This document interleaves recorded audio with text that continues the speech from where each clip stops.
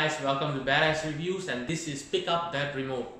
And today I'm going to review the first five episodes or the first half of HBO's Watchmen series. I mean, I'm a ma- massive, massive comic book fan. I think a lot of you all know that.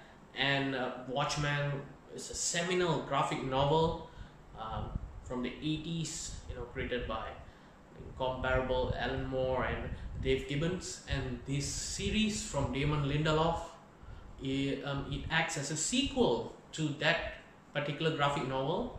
It doesn't tie into the gra- uh, Zack Snyder directed film from 2009. And in fact, it takes place after uh, the events of the Watchmen graphic novel. And um, I mean, I am in love absolutely enthralled by this series so far. It's only been five episodes. You can catch it on HBO HBO Go, wherever you watch HBO. And um, I mean, and before I, I'm, I'm going to review the first five episodes, so I'm going to go into really, really heavy spoilers here. So only keep listening if you've watched the first five episodes. If you have not, go watch those five episodes and then come back and maybe you might agree with my uh, ruminations about the uh, Watchmen series on HBO so far.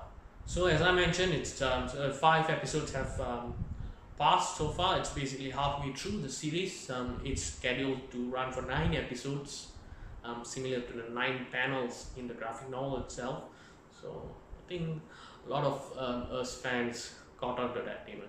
And um, what can I say? It's from Damon Lindelof He's the creator of Lost, uh, The Leftovers. He wrote a lot of episodes on those two series, and he is uh, quite famous for creating these uh, mythology-heavy um, episodes and series that delve deep into the storylines, and uh, it um, it makes you want to go and check on forums way back in 2004 that for Lost. That's what I used to do and uh, when leftovers came out came out we had reddit which is where i used to troll. And now with watchmen i'm trolling reddit again for uh, you know discussions uh, easter eggs and um, in fact just uh, for like-minded people to share their opinions about the episodes. And it's bringing me right back into that same feeling i had uh, you know 15 years ago and uh, four five years ago from the Lost uh, and the Leftover series. So I'm gonna go into an episode by episode uh, kind of a simple review and uh, and you know disagree or agree with me. I can uh, guarantee you one thing: you will be entertained, especially if you're a big fan of the graphic novel. If not, you'll still be uh, flabbergasted by some of the scenes. I have to admit, but thoroughly entertained nevertheless. And so, what can I say about episode one?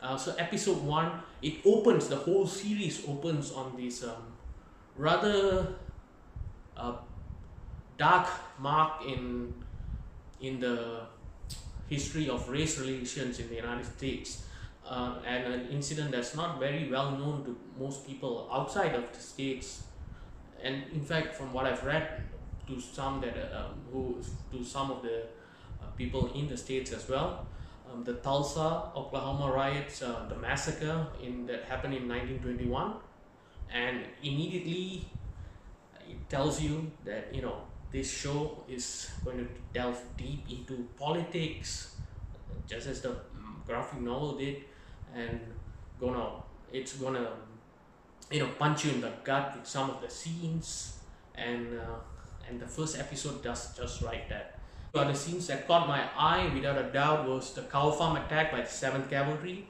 who have kind of twisted um, Rorschach's journal, his, his manifesto of sorts, into a white supremacist kind of uh, manifesto and using that, uh, his journal, to um, well, commit crimes.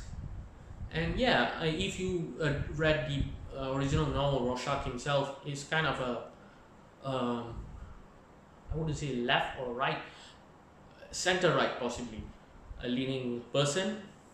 He believed that um, a lot of things that were happening were due to a certain kind of people, certain type of people from a certain socio-economic strata, and uh, the Seventh Cavalry, who are the antagonists of this show, have kind of twisted his uh, learnings to their own use.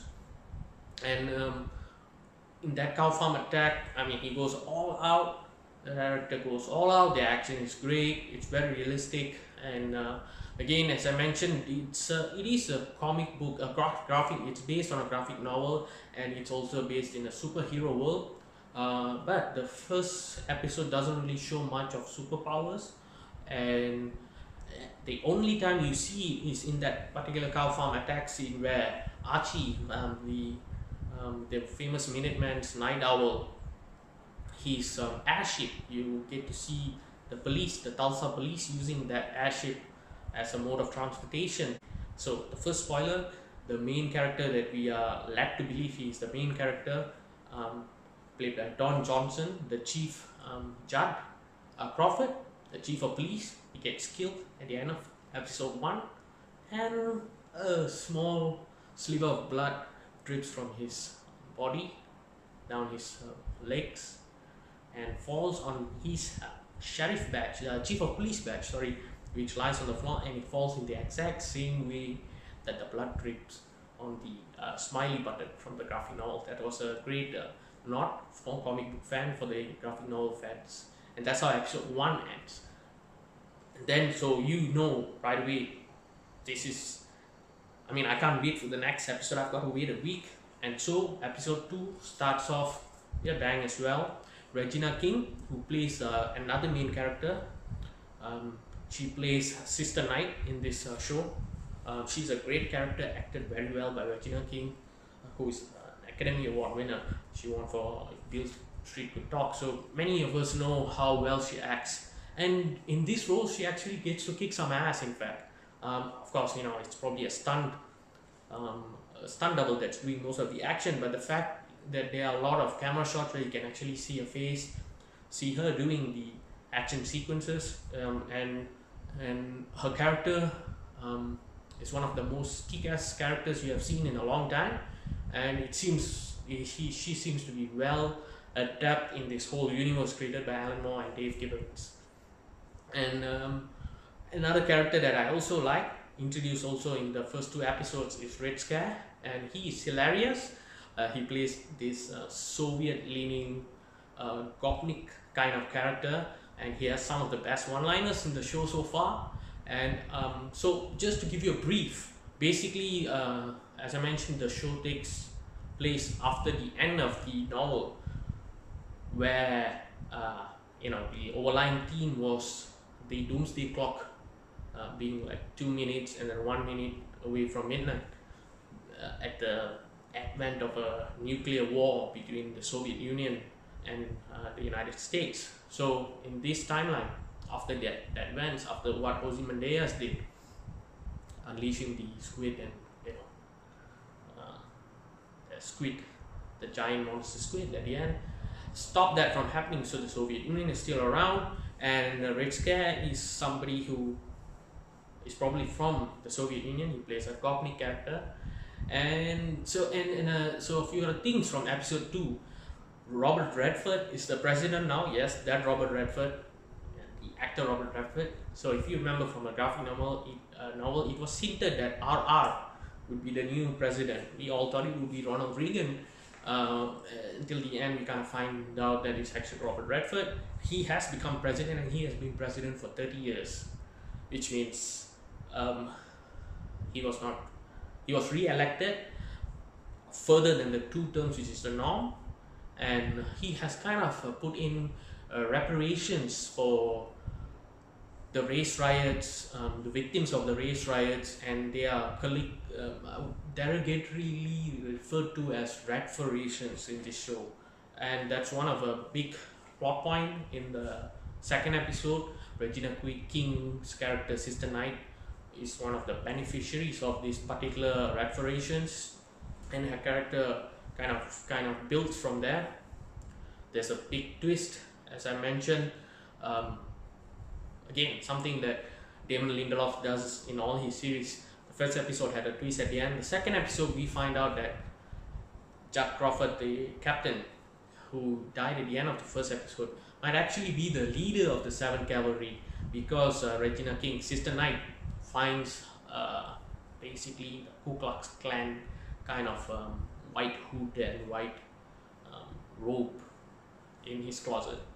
So that was the twist at the end, uh, and uh, a few of the things that we also got to saw uh, got to see is uh, you know we saw we see Jeremy Irons playing. At first, he's not mentioned who is he. We get to know. I mean, most of the fans of the comic would have guessed uh, based on the way he speaks and a few subtle clues here and there. He's basically a much older Adrian Veidt, uh, Ozymandias, and he is trapped somewhere. Don't know where yet. There are a lot of speculations in further episodes. But he's trapped somewhere, and he is uh, he spends his time um, uh, coming up with a play of sorts called the Watchmaker's Son, which is none other than Doctor Manhattan, and we get to see uh, recreation of uh, Doctor Manhattan's genesis uh, in the, in this play, and we get to see that famous big blue dick. and uh, you know it's quite famous from the graphic novel. It's also it was also shown in the um, unrated edition of the Watchmen film as well. It's something quite famous, and it's good to see that we get to see the same things here. It's not forgotten. And remember, if you remember correctly, Ozymandias is kind of hinted as, as as being a closeted homosexual, and the fact that he uh, actually you know kind of concentrates on this particular part of. Uh, Dr. Manhattan is quite uh, funny. Now, as we move on to um, uh, episode 3, episode 3, we first get to see Ozymandias in the full purple and gold uh, Ozymandias costume, complete with the headband, Jeremy Irons. I mean, what can I say? He's a delight as Ozymandias, man. He's there's it's a, it's a very difficult thing to choose your favorite character from this show if there's one con that I can say because almost all the uh, lead characters are well written.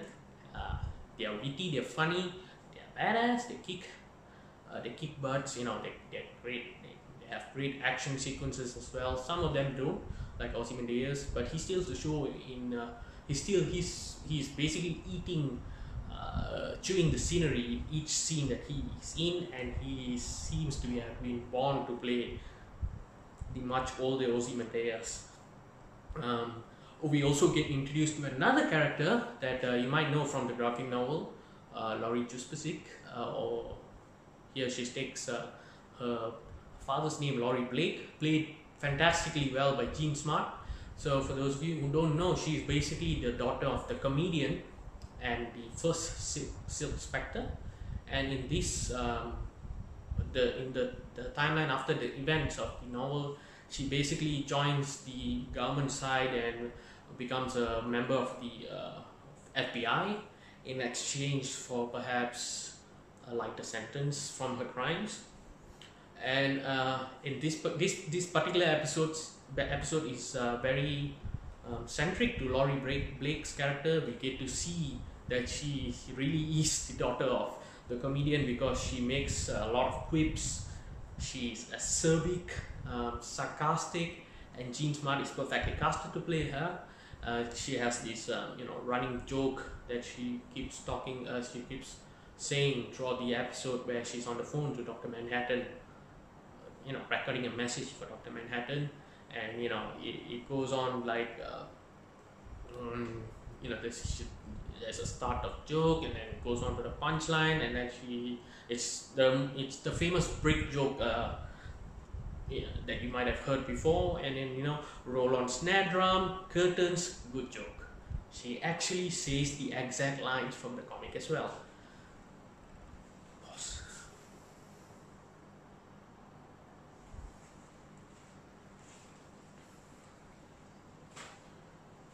And then we move on to episode 4, um, where we get to see something called the Loop Man. That's what it's being called in uh, in uh, on the threads um, online. It's being called Loop Man, a very strange character who I think and many people online think that it might be uh, the FBI agent Petey because of how he looks. He's very lanky, tall guy.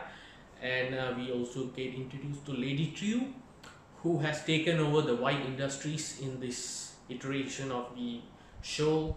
Um, she's basically portrayed as a as this you know um, reclusive businesswoman who basically runs the world. And there is a hint that she might be the comedian's daughter with the woman that he shot in the novel, um, the Vietnamese woman that he shot in the novel. There is a hint that that uh, the that uh, the character Lady Trieu might be actually their illegitimate daughter, and uh, I don't know. It's possible. It's not been said explicitly, but that's um, that's my theory. Uh, we as I mentioned, uh, you know, Jeremy Irons is a fantastic delight. In this particular episode, there's a scene where they show how he has this um he, he has this ability to make clones. Mm. So he clones like um, a, a male and a female helper for him to help uh, help him out uh, to perform his experiments. So basically, the particular storyline involving Adrian Veidt's character uh, basically each episode is a year in his life um, during his imprisonment in wherever the place he's being uh, imprisoned in. There's a lot of rumors about it, and uh, he he so basically he does his experiments. A lot of the clones get killed uh, by very very ludicrous means, but highly entertaining. And in this episode, they basically show how he uh, he makes the clones, how he how he gets the clones. The clones are actually, how do you say, uh, born in a kind of a crab cage in the middle of the lake. So he goes out late at night to catch, to collect the clone babies. Yes, they are actual babies uh, from the clone cages. He checks them and he just nonchalantly throws the crying baby, actually a live crying, crying baby, back into the lake because you know it's just kind of like a discarded fish. So that's the kind of character that is and Jeremy Irons is, is perfect. I mean, he gives you, in all the strange ways, he makes you laugh, even though anybody else doing that might make you feel a bit disgusted. He makes you laugh because of the way he does it, because of his size, his facial expressions, and so on. And then so and and then we move on to episode five, the most recent episode, um, which was released on Sunday my opinion, the best episode so far of the series. Uh, my favorite episode as well because it is um, a bottle episode. Um, now, Damon Lindelof, as I mentioned, creator of um, Lost and The Leftovers from way back when, has this knack of writing these kind of uh, bottle episodes. Um, and he has done the same for uh, for Lost. Some of the best episodes uh, from Lost were written by him um, like the uh, Terry centric episode Walkabout or the uh, Desmond centric episode uh, Live Together Die Alone. And in fact, in Leftovers, he did the same thing uh, with two boats and a, and a helicopter, the Matt centric episode. A lot of these episodes are bottle episodes, which mean, basically means it, it follows single character, a singular character throughout a couple of days, how they go about their life. And in this particular episode, um, we follow uh, the character by the name of Looking Glass, which is played by Tim Blake Nelson. And um, as I mentioned earlier, it's very difficult to choose your favorite character. But at the end of this episode, I really liked. I think I flip flop a few times throughout the season so far. And right now, um, Looking Glass is my favorite character. Now, I'll tell you why. Um, Looking Glass is um, you know he he has this he was part of the incident that happened on um, 11-2 as it's called in the United States or the incident of 2nd November 1985 where this um, giant monster squid alien squid uh, gets teleported and lands in in Manhattan and uh, the resulting psychic blast causes a lot of damage a lot of uh, people were killed and a lot of survivors were traumatically affected by it and first of all what i have to say is oh my god a giant squid i mean damon lindelof is literally saying oh okay So you guys thought that you know having a giant squid is a bit too strange to have it on big screen. Uh, you know, like what Zack Snyder did, he had to change it. He made it uh, the Doctor Manhattan's form in the film, and in this part, in this particular episode, he starts it off with the squid. So he's like saying, you know, screw you guys. I mean, I'm gonna do what I want to do. This is what how I see how the show is meant to be. It's going to be bonkers all out there, and he lands that giant squid in the middle of Manhattan its tentacles all over Hoboken and the rest of the uh, boroughs in uh, New York. And you know that, but I mean, I was sitting here and watching the that particular episode after a little help, and um, and you know if you can, that little help really will make you enjoy this whole show. And I was like, oh, I? What am I watching? I mean, this is is unheard of. You know, you don't really see these kind of scenes in uh, in in. Uh, of course, you know you saw the dragons in Game of Thrones, and you know, um, uh, other kind of monsters and such things. Uh, you know, zombies in The Walking Dead, but you never expect to see an alien squid. You know, you never do. Uh, especially it from it being taken from the novel itself. Um, so and that's how the episode starts. So this particular event, how it affects Looking Glass, how he goes through his life. He starts to become a recluse of sorts. Uh, with a literal tinfoil hat. In this case, he wears a reflective mask, uh, which uh, blocks out the psychic blast that affects a lot of other people, and which allows him to sleep more comfortably and so on. And he adopts it as his superhero persona in this show and uh, and as I mentioned, Tim Blake Nelson was uh, is fantastic as well. You really feel sympathy for him. Uh, all the kind of shit that he's been put through in his life, and yet he keeps falling for it. I mean, dude, it's literally right in front of you, and you got to be more, uh, you know, be more wary of who you speak with because you keep getting into these situations and then you end up being hurt or heartbroken, please stop. Um, also, at the beginning of that particular of this particular episode, you see a lot of nods to the comic book, it's to the graphic novel itself. You see the knot tops, the uh, counterculture movement that kind of has replaced the skinhead movement. There's those guys with the samurai knots at the top of their head. There's a mention of a pale horse. Apparently, in this universe, Schindler's List was never made um, Steven Spielberg made a film called The Pale Horse, which was based on that whole particular um, incident, the squid landing in Manhattan, and apparently it won a gazillion Oscars. So uh, uh, that actually Pale Horse is based on the band that was playing in Madison Square Garden in the novel, and on all the people who were watching them were killed in that particular incident. So it's a nice nod to that. And uh, you know what else can I say? This then I can't wait for the next episode. Um, Watchmen has basically brought me back to those times in 2004. You know, um, trawling internet forums, searching for theories on Lost. In fact, in 2011, 2010, 2012, we had Reddit, so that's where we used to go for uh, the leftover theories and speculation. And now I'm doing the same thing for Watchmen. I can't wait for the next episode, episode 6 from the previews. Look even more bonkers. In fact, it seems to be uh, something along the likes of uh, the Lost episode, The Constant, or the Leftovers episode, The International Assassin, where it happens kind of in the head and I don't know. I'm looking forward to it. It, it looks really bad, badass. As I mean, I keep saying that, but that's the only time I've said it uh, in all my reviews so far because it it truly is one of the best series this year 2019 and uh, i'm looking forward to the next episode. Um, you know and what else can i say? But uh, you know quis custodiet ipsos custodes who watches the watchman are you watching the watchman um, this has been a presentation of badass reviews. Pick up that remote. Like share comment do that thing. But most importantly keep calm and rock on